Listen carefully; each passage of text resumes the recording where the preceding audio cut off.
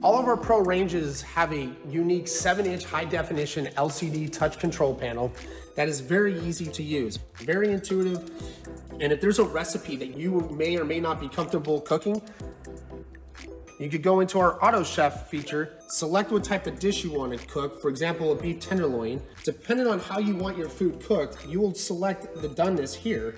You'll see how the picture actually changes color. I like my beef tenderloin to be a medium rare. What will happen is the oven will tell you what cooking mode is gonna go into convection roast, what temperature is gonna preheat to, whether or not you need a probe, and it will identify that here, and it will tell you the option that you selected medium rare.